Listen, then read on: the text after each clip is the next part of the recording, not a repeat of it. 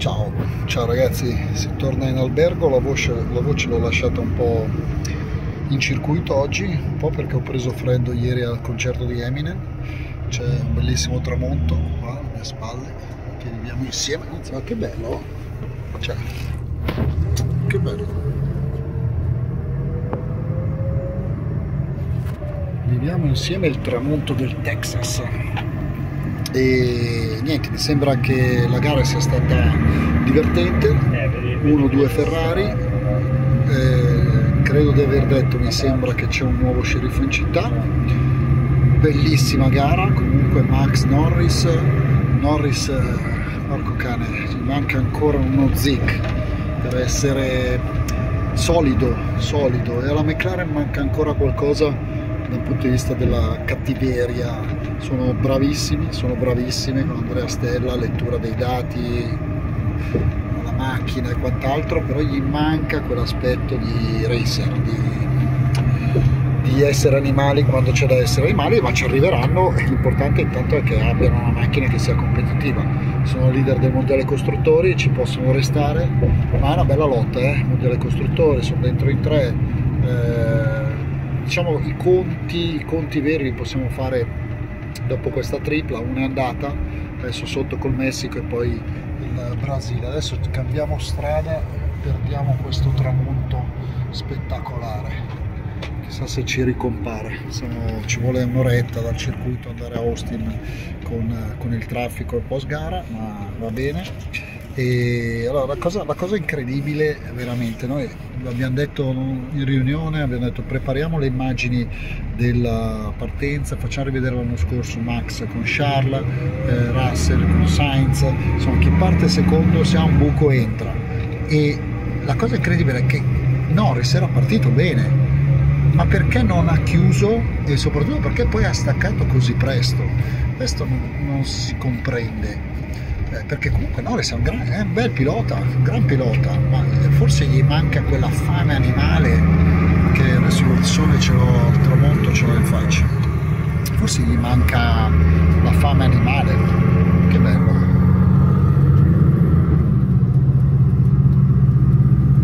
Guardate come sono fatte le autostrade qua, eh. Cioè, tutte le...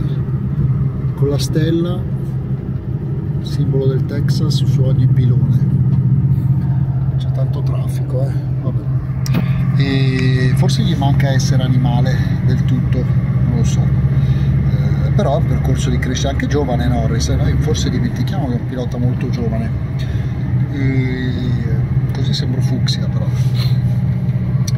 Lo, lo sapevamo, Carlos e eh, Charles lo sapeva eh, e si è infilato dietro a Max. È stato lì, non appena i due si è preso un po' di spazio largo proprio per stare poi interno e non appena i due si sono accompagnati fuori lui è passato.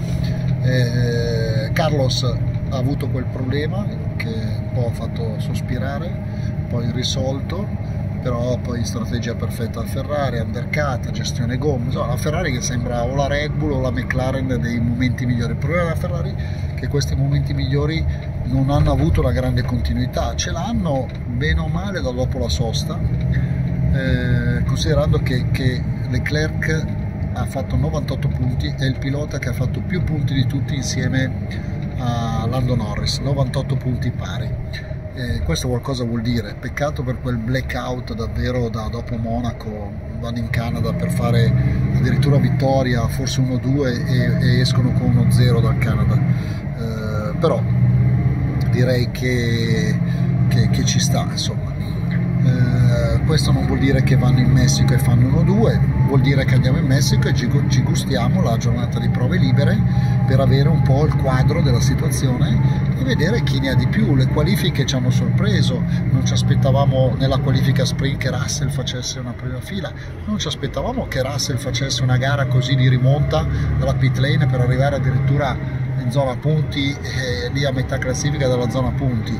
Non ci aspettavamo poi una Mercedes così forte. Quindi attenzione perché la Mercedes si mette a posto e può essere di nuovo in lotta anche lei per qualcosa di, di importante eh, nel tappa per tappa.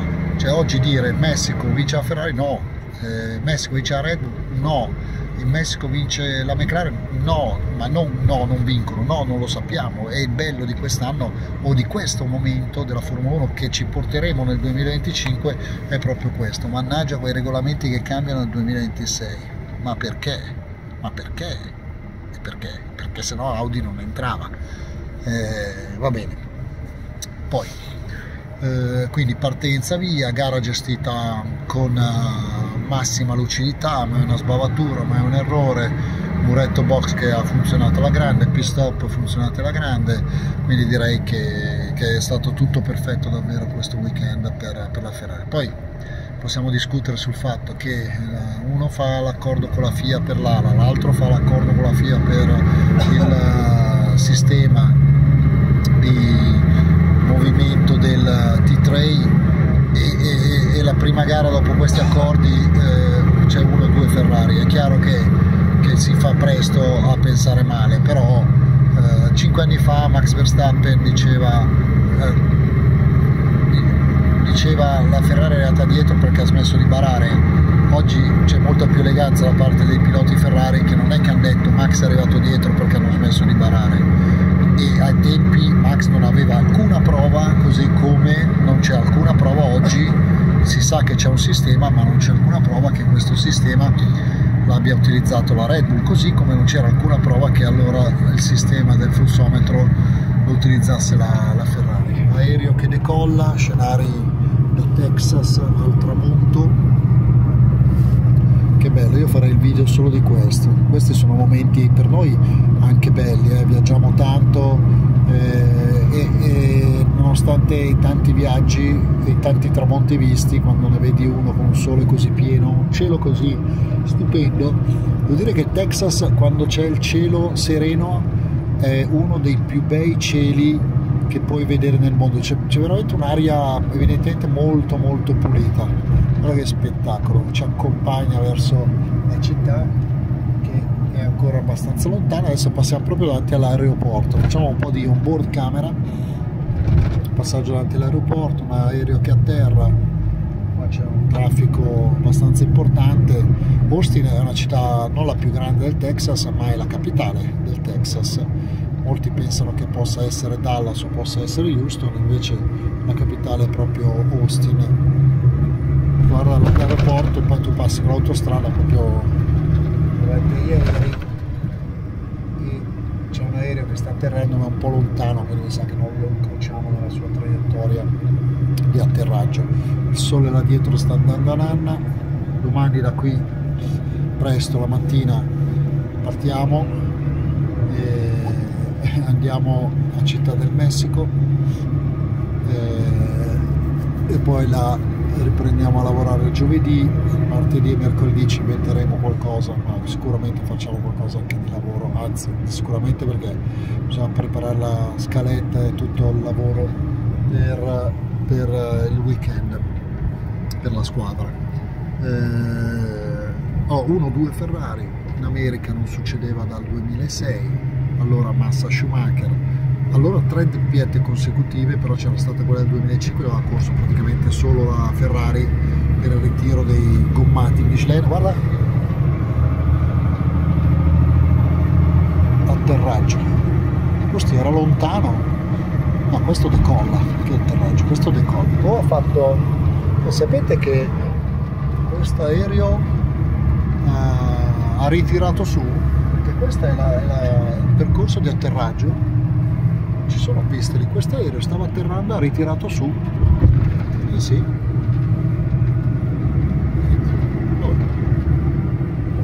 è successo una volta in Bahrain che stavamo atterrando quasi toccato il suolo l'aereo ha ridato potenza e è ripartito per, perché c'era un un carrellino che attraversava la pista. Guarda, pullman ruota ruota col pullman della scuola. E... Bene, allora dicevo doppietta quest'anno c'era già stata in Australia. È chiaro che dei, dei, tre contendenti al costruttore la Ferrari è quella che è stata meno continua se non in questo periodo. Serve continuità in questo finale e poi i conti si faranno veramente alla fine fare pronostici adesso è impossibile mondiale piloti io credo che non ci sia proprio nulla da fare, però sognare è lecito. Io credo che l'affetto che i tifosi Ferrari abbiano nei confronti di Leclerc è perché Charles è un sognatore, cioè non molla, anche se ha mille punti di distacco ci crede. Io ricordo le lacrime di Sebastian Vettel quando perse il mondiale con largo anticipo contro Lewis e la sua delusione in Messico. E rimaniamo molto colpiti perché dici ma come scusa, eh, ormai il mondiale è andato da un po', lo sai che quello lo vince in Messico, te lo chiude in Messico con anticipo. Invece secondo me c'è quell'animo lì del sognatore che fino finché proprio non è scritto la parola fine ci crede, quando c'è la parola fine comunque ti entra tanta delusione e secondo me questi piloti vengono amati dai tifosi perché sognano, sognano insieme ai tifosi. Là in fondo c'è Austin, città, eh, adesso io faccio, dico là in fondo c'è e mi passa davanti la trave dell'autostrada, qua c'è un parcheggio qui sotto. Eh, adesso vi faccio vedere se riusciamo. Vabbè i grattacieli sono là. Di queste città che compaiono quasi un po' nel nulla di queste praterie infinite. Eh, quindi credo per questo motivo Charles piaccia tanto ma divide anche no? ci sono anche tanti che non appena fa qualcosa di sbagliato perdono un secondo per scriverlo eh, ma è giusto così eh? quando uno è a forte, quando uno fa parlare è giusto che ci sia chi lo ama e chi lo apprezza. Poi c'è sempre secondo me un comportamento da tenere nella logica della normalità, dell'educazione che molti non hanno purtroppo, ma questo sinceramente non è un problema mio. Eh, Carlos, eh, poi devo dire una cosa, la sprint c'è stato quel duello. Vedendo la gara di oggi forse, forse senza quel duello tra Sainz e Leclerc forse potevano pensare di poter fare 1-2 anche nella sprint. E Leclerc che sogna comunque anche il mondiale piloti anche se eh, ovviamente come abbiamo detto è impossibile comunque lì ha perso due punti no, nella sprint Leclerc eh, se, se, se, sogna il mondiale piloti vuol dire allora se Leclerc arriva a giocarsi il mondiale piloti cosa che ritengo sempre impossibile vuol dire che arriverà a giocarselo sul filo dei punti. E eh, magari quei due punti poi servivano comunque. Uh, altro da dire? Che Carlos comunque ha fatto un bel weekend solido. La sprint non c'erano ordini, i due si sono dati battaglia, uno aspettava un più di gestire la gomma, l'altro è andato aggressivo, ma è stato un test molto importante, anche l'aggressività di Carlos, per vedere per la Ferrari che la gomma, se non l'avesse fatto quella gara così aggressiva Carlos, oggi la Ferrari non avrebbe avuto il riscontro che con la gomma gialla potevi spingere tanto fin da subito e ti durava bene 19-20 giri.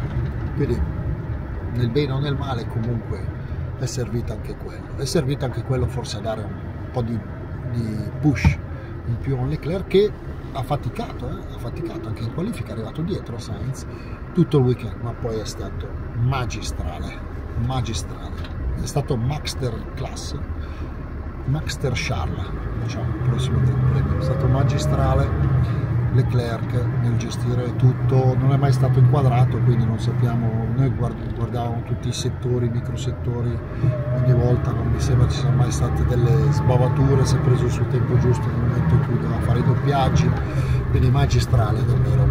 Eh, vediamo se adesso Ferrari trova in questa tripla della continuità, che non vuol dire rifare 1-2, ma vuol dire stare lì e giocarsela. Eh, Max ragazzi ho ribattezzato Maxter class perché cioè allora io credo che si debba discutere sul suo modo di partire è lecito lui non fa la curva e a fare dell'altro e lo fa sempre non sa benissimo Lewis Hamilton Barcellona Imola ce sono mille e, ma lo sanno tutti lo sanno tutti non può non saperlo Lando però poi come ha lottato, come se te lo io pensavo arrivasse e lo passasse ancora prima di arrivare alla staccata della 12 per quanto era più veloce. Invece Max ti, tira, ti allunga questa staccata che anche quando pensi di averlo passato ti ricompare. Mamma mia che pilota che pilota. Eh, fatemi spendere qualche secondo su Hulkenberg. Hulkenberg io non so come questo pilota non sia mai riuscito a salire sul podio perché veramente se lo merita. Purtroppo andrà a vivere un anno molto difficile in Sauber spero un po' meno in Audi anche se la, l'asticella delle buone prestazioni è stata messa al 2030 Audi 2030 vabbè. E, però spero davvero che abbia la possibilità anche perché se deve aspettare il 2030 Hulkenberg credo che faccia prima andare in pensione. Però mi spiace perché è un pilota molto solido e meriterebbe, avrebbe meritato fin qui di conquistare un podio. È vero che non l'ha conquistato quando compagni di squadra, ad esempio Perez o altri, invece sul podio ci sono andati. Quindi ricordiamo che lui si è presentato in Formula 1 il primo anno, Williams, una pole position eh, in Brasile, subito da giovanissimo, poi è non è mai riuscito a trovare la squadra giusta per, per far vedere con una macchina competitiva che pilota può essere. Eh, Lawson, Lawson non correva dall'anno scorso, ha fatto 5 gare l'anno scorso, fa il primo weekend, parte dal Wyoming con 60 posizioni di penalità, parte in fondo e, e va a punti. Ma che gara ha fatto? Che gara ha fatto? Che gara ha fatto? Liam Lawson io credo che sarà lui a salire il Red Bull al fianco di Max, ma è una cosa che sappiamo e ci dicono già da prima di questa gara. Certo è che questo risultato non fanno che consolidare la voglia. Adesso c'è lì c'è un po' da divisione, Honda che vorrebbe spingere Yuki che non demerita, eh, non demerita, però io credo l'Oson sia un po' più attrezzato anche a livello di larghezza di spalle per eh, stare con Max eh, non so, certo è che se Yuki non sale diventa, si può sempre sperare che l'Oson fallisca e aver lui un'opportunità, però lo, questo non è scritto da nessuna parte che sia effettivamente così, vi raccontiamo un po' Radio Pado. Questi sono i sobborghi di Austin, eh, qui è una casa abbandonata, delle case, ah, questa è vissuta, qui c'è Something Cool Studios, qualcosa di figo, ma un po' di residence, un po' classici, proprio stile americano nei sobborghi, Mexican Restaurant, Speedy Stop, la benzina siamo circa quasi un euro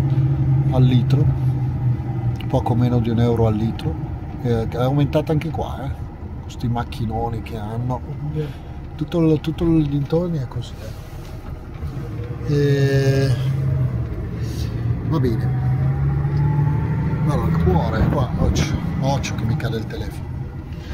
Qui vediamo parrucchiere Water Street adesso dovremo passare sul ponte dei pipistrelli che è dove si chiama la Bat City Austin. La Bat City perché c'è un ponte dove la sera sì più o meno verso quest'ora tu ci passi e, e volano milioni di pipistrelli eh migliaia, parla di un milione e mezzo di pipistrelli presenti in questa zona, c'è un'ora dove tutti vanno al ponte per vedere questo volo. Non so se adesso se ci passiamo magari li vediamo. Qui c'è la, la zona ancora, diciamo, dal, dal, dal fiume in poi, poi arrivano i grattacieli. Qua è una zona anche di studio, di tattoo ah, non, non, è il ponte dei pipistrelli però questo è quello di fianco. Vabbè. E poi Bat City Batman anche Colapinto eh. mamma mia Colapinto allora, quelli che sono partiti dietro a parte Hamilton che l'ha messo in ghiaia eh, Colapinto anche partiva dietro a Albon. Albon adesso, adesso vedete la Formula 1 quanto va veloce. È incredibile quanto va veloce la Formula 1 perché eh, Albon pilota che consideriamo bravo quando è stato in Red Bull comunque ha retto abbastanza poi è andato un po' in crisi ma stava facendo due podi quello in Brasile poi il contatto con Lewis Hamilton che è stato penalizzato. Eh, stava facendo ha fatto podio eh, secondo me non stava facendo male con la Red Bull sicuramente stava facendo meglio di Gasly. Eh, però poi ha deciso di prendere Perez per essere un po' più tranquilli.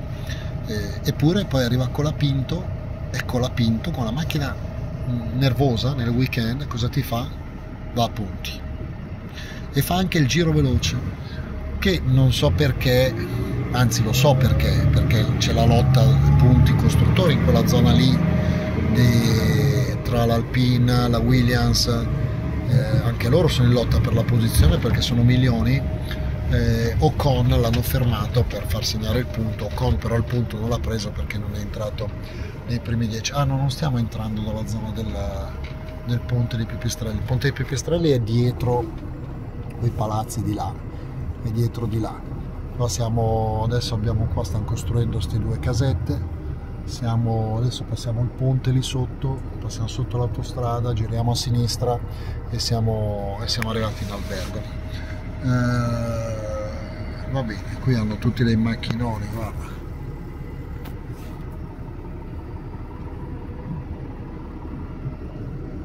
Che non c'è una macchina piccola. Uber. Guarda. E quindi bravi, bravissimi Hulkenberg, Lawson, eh, Colapinto, veramente. Se, secondo me uno di questi meriterebbe di essere eh, Drivers of the Day eh, insieme a pari di Charles. Poi Piastri spento, mai acceso, ha fatto una cosa intelligente la McLaren, ha chiesto a Piastri di rallentare perché con i 5 secondi di penalità Norris finiva anche dietro a Piastri. E quindi gli ha chiesto a Piastri di non spingere, quantomeno non ha perso quei punti con, uh, con il compagno di squadra Norris. È un posto da colazione, He Hop, dove fanno le frittate, le cose, guardate, grattacielo. Adesso siamo abituati anche noi, no? se vai a Milano, palazzi così adesso ci sono. La differenza è che qua te li tirano su in sei mesi, guarda qua un po' di traffico sono arrivato dai eh, avevo tante cose da dire non so se le ho dette tutte eh, la voce è quello che è voce rauca del fine poi la luce appena va via il sole diventa buio di colpo eh. la voce è quello che è Domani mattina si parte per Città del Messico e vamos, vamos amigos.